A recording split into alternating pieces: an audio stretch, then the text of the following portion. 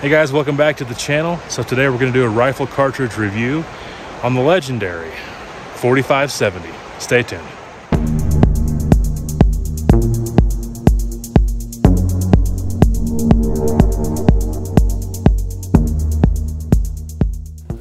In 1873, the United States Army replaced the 5070 with the 4570.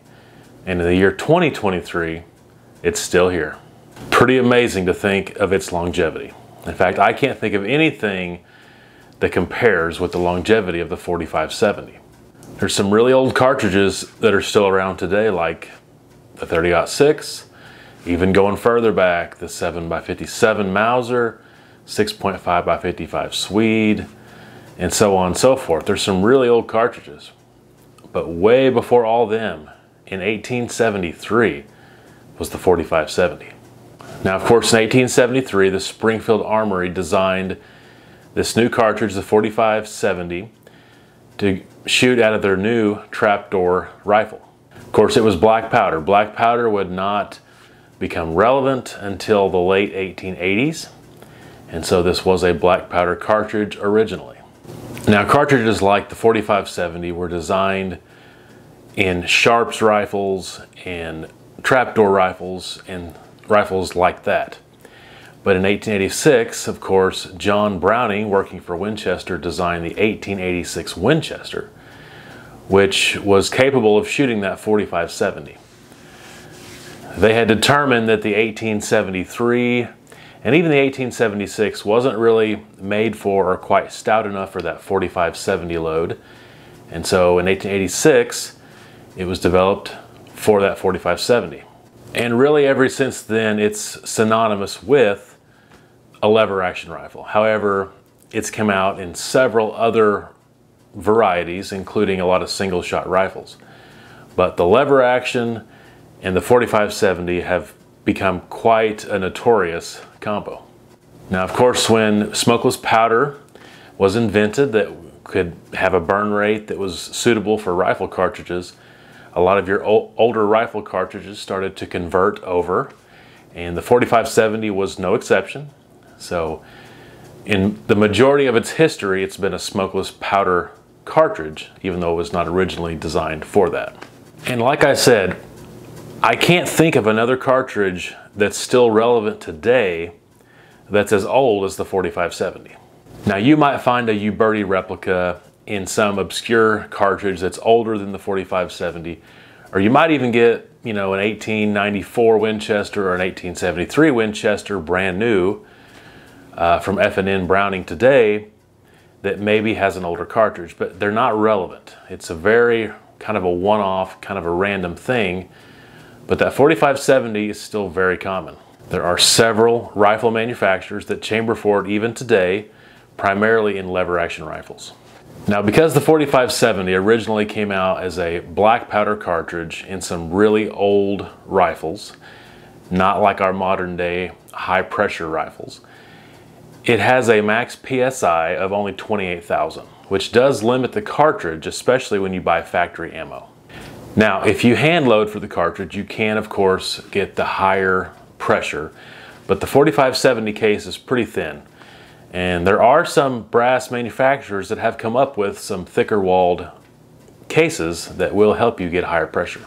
But from its inception, the 4570 was never designed for longer ranges or to shoot a high pressure round with high velocities. It's going to have moderate velocities and it's for pretty close ranges.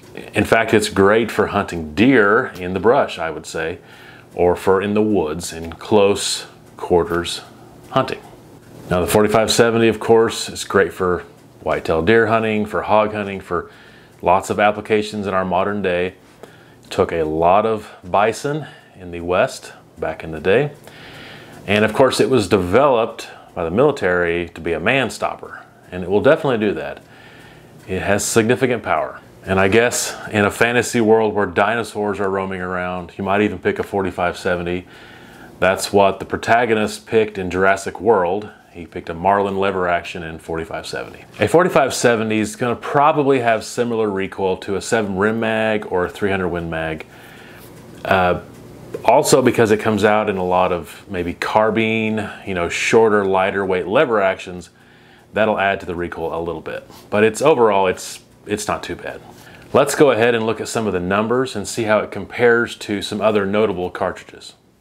Now, when the 4570 first came out, the 45 denotes 45 caliber. The 70 denotes 70 grains of black powder. And it originally shot a bullet around 405 grains.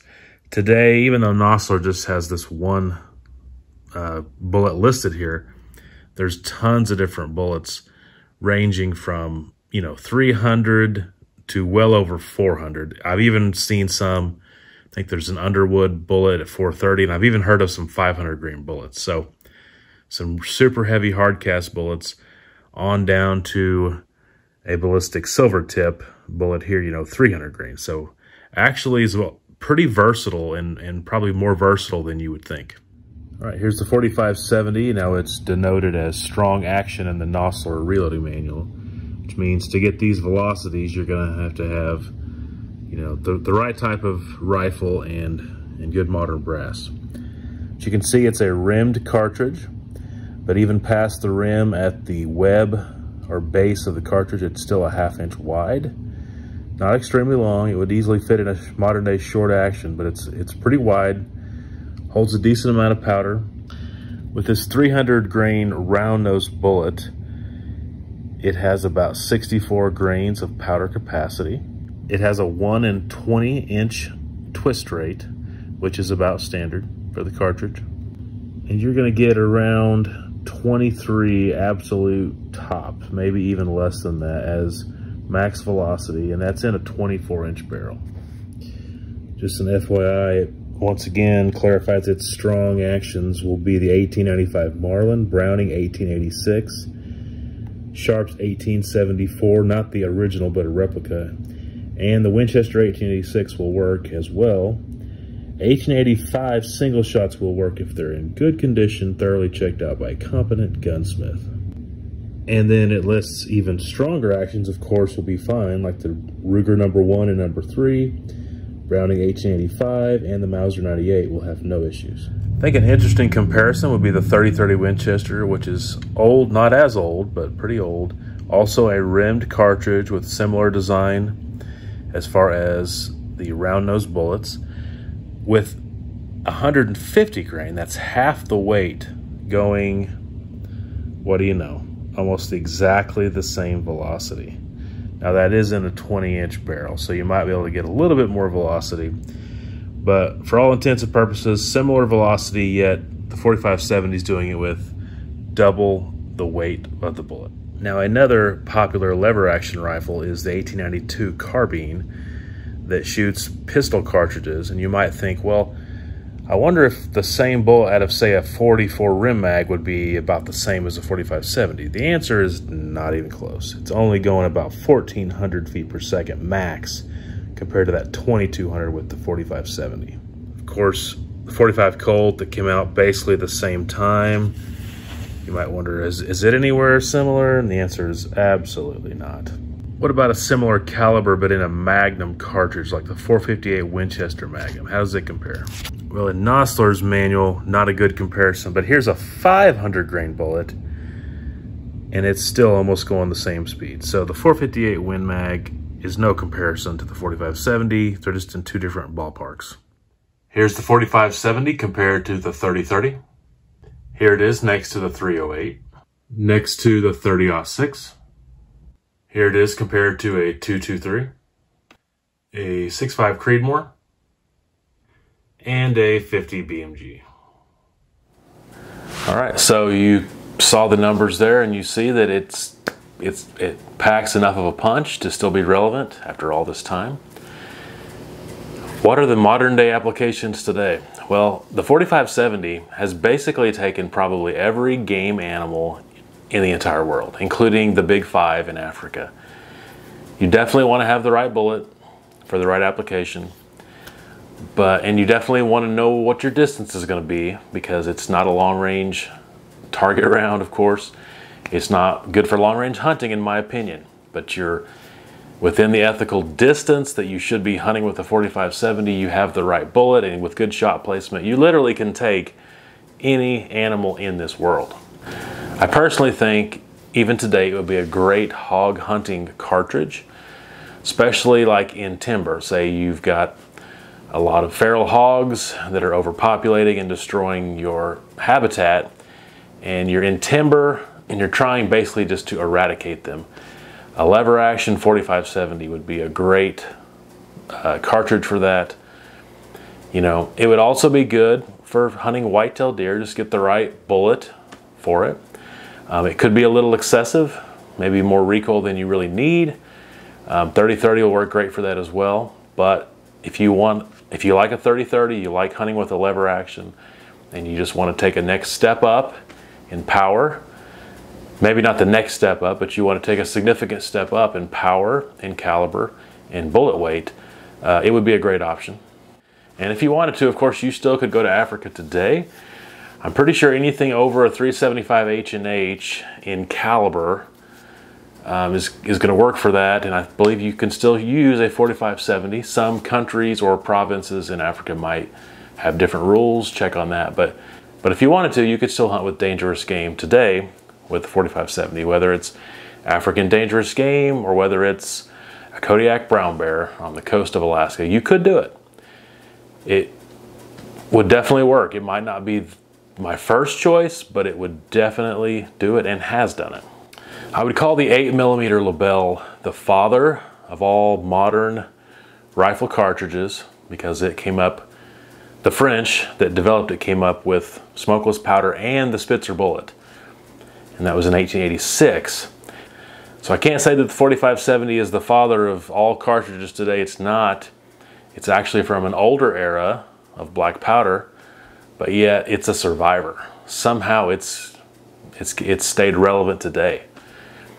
I mean, yes, the 3030 is still around today, but it was 1895, and it was literally developed as a smokeless rifle cartridge. Um, so besides, you know, like some rim fires like the 22 short and 22 long, I can't think of any cartridge that's that's lasted as long as it has and been and stayed relevant, especially as a center fire cartridge. And the 4570 is as good today as it ever has been, actually probably better. There's a much bigger uh, array of powders and bullets to use. Even some of those brass that I was talking about with thicker walls and higher pressure and today's metallurgy and modern rifles are just going to be stronger than ever. So 4570 is definitely viable in the year 2023. And I salute you and take off my hat to the 4570. Quite an amazing cartridge. Hopefully you've enjoyed this video. If you have, please give it a thumbs up. And comment below if you have experience with the 4570. Um, what have you used it for? Um, hunts you've been on, game animals you've taken. I'd love to hear all about it. If you haven't subscribed, please subscribe to the channel. More videos like this coming out. Check the links in the description below. Got several links to some other stuff that I've got going on. Love you to check them out. And I hope you have a great day. And until next time, take care.